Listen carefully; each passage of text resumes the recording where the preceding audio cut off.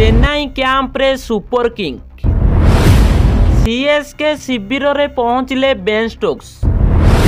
ମାହିଙ୍କ ନେତୃତ୍ୱରେ ଖେଳିବେ ପ୍ରଥମ ମ୍ୟାଚ୍ আইপিএল দুই হাজার তেইশকু মাত্র গোটিয়ে সপ্তাহ বাকি রয়েছে এসহ সমস্ত দলর খেলাড়ি আরম্ভ করে নিয়েছেন নিজ নিজের প্রস্তুতি তেবে এরই মধ্যে চেন্নাই সুপর কিংর স্টার অলরাউন্ডর বেন স্টোকস বর্তমান সিএসকে শিবিরের পৌঁছি যাই তাঁর সহ সাথী খেলাড়ি মৈনলি দলরে যোড়ি হয়েছে